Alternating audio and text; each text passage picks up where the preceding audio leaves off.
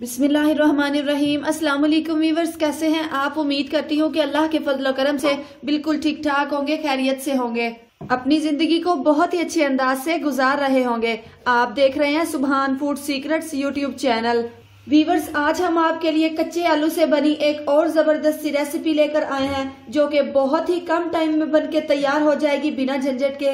बहुत ही टेस्टी लगती है। आप चाहें तो आप इसे शाम की चाय के साथ भी इंजॉय कर सकते हैं। लेकिन रेसिपी को शुरू करने से पहले आप सभी से एक ही रिक्वेस्ट करूँगी कि चैनल पे नए हैं तो चैनल को ज़रूर सब्सक्राइब कर दीजिएगा। और वीडियो को लाइक करना आपने बिल्कुल भी नहीं भूलना। ये बेसिकली आप लोगों की तरफ़ से हमारे लिए एक इनाम होता है। हमारी हौसला अफजाई होती है कि हम काम बेहतर कर रहे हैं। चलिए बिस्मिल्लाह करते हैं, अपनी रेसिपी बनाना स्टार्ट करते हैं। यहाँ पर हमने लिया है एक मीडियम साइज़ का आलू और इसको छील लेते हैं। छीलने के बाद हमने आलू को ग्रेट कर लेना है। ये देखिए, यहाँ पर आलू को ग्रेट कर लिया है और अब हम इसे निचोड़ के इसका अच्छी तरह से पानी ड्राई कर लेते हैं। इसमें आपने पानी बिल्कुल भी नहीं रहने देना। ये देखिए, ये बिल्कुल ड्राई हो चुका है। इसी तरह हम सारा कर लेते हैं। ये देखिए, यहाँ पर आलूओं का अच्छी तरह से हमने पानी ड्राई कर लिया है और अब हम इसमें डालेंगे कुछ बाकी की चीज़ें। यहाँ पर टू टेबल स्पून हमारे पास हरा धनिया है, जिसको बारीक कट कर लिया है। और टू टेबल स्पून ही हमारे पास बारीक कटी हुई प्याज है। वन टीस्पून हमारे पास हरी मिर्च है, बारीक बारीक कटी हुई।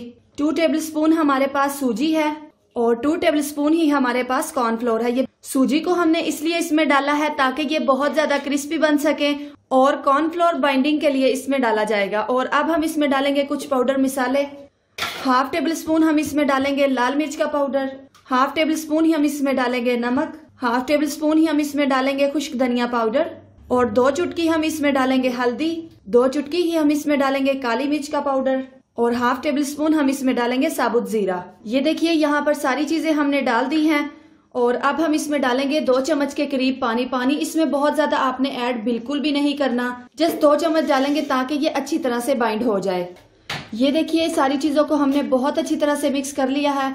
ये आप देख सकते हैं कि ये बहुत अच्छी तरह से बाइंड होने लग गया है। चलते हैं आगे के प्रोसेस में।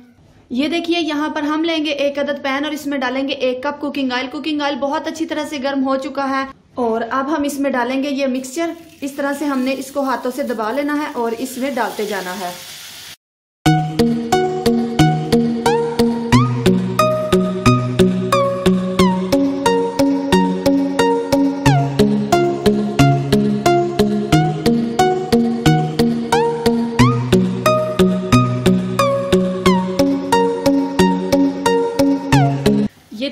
मिक्सचर को हमने डाल दिया है पैन में एक से डेढ़ मिनट तो आपने इसको बिल्कुल भी नहीं छेड़ना।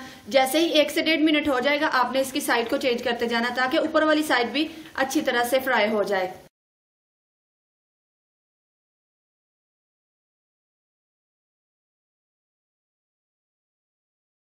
ये देखिए, यहाँ पर इनको तीन मिनट के लिए फ्राई कर लिया है और ये दोनों साइड से अच्छी तरह से कुक हो चुके हैं और अब हम इनको निकाल लेते हैं। और इसी तरह इसी कुकिंग ऑयल में हमारे पास जो बाकी का मिक्सचर है, वो भी हम डाल देंगे। आपने यहाँ पर कोशिश ये करनी है कि इनको बारीक करके फिला के इनको आपने डालना है इसमें। इससे ये होगा कि अंदर से कच्चे नहीं रह जाएँगे। तीन मिनट इनको भी उलट पलट करते हुए खूबसूरत सा गोल्डन कलर दे देते हैं और चलते हैं फिर फाइनल लुक की तरफ़। आपको तोड़ के दिखाते हैं कि ये अंदर से कैसे बने हैं। तो ये लीजिए, माशाल्लाह, अल्हम्दुलिल्लाह अल्हम्दुलिल्लाह, देखिए कितने मज़ेदार से, टेस्टी से, लच्छे वाले पकोड़े बन के तैयार हो चुके हैं। देखिए कितने कम चीज़ों में और कितने कम टाइम में हमने बना के तैयार कर लिए हैं। ये बहुत ज़्यादा टेस्टी बने हैं और बहुत ज़्यादा क्रिस्पी बने हैं। रात को आप लोगों को अगर हल्की फुल्की सी भूख लगी हुई हो तो ये बनाइए, खाइए और इंजॉय कीजिए। वीवर्स अगर आपको वीडियो अच्छी लगी हो तो वीडियो को लाइक ज़रूर करिएगा। अगर आप चैनल पे नए आए हैं, चैनल को सब्सक्राइब किए बिना मत जाइएगा। अपनी दुआओं में याद रखिएगा। मिलते हैं इंशाल्लाह नेक्स्ट वीडियो के साथ। नेक्स्ट रेसिपी के साथ तब तक रखना है आपने अपना ढेर सारा ख्याल।